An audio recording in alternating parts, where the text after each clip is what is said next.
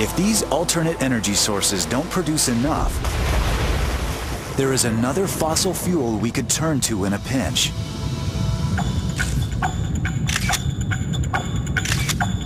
It lies beneath the ocean. When organic particles in the sediment decay, they create methane gas. Under intensely high pressure and near freezing temperatures, the gas combines with water and is encased in ice.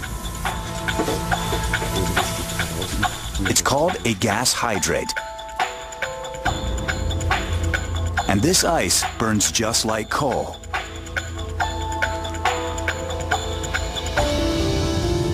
Scientists estimate that gas hydrates worldwide exceed the total reserves of oil, gas, and coal combined.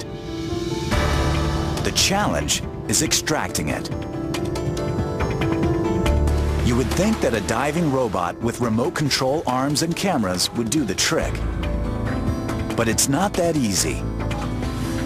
When the robot heads to the surface, the water pressure drops, the temperature rises, and the ice melts. The gas hydrate escapes. But even if we could extract it, gas hydrates pose another problem. Burning methane releases carbon dioxide and accelerates global warming.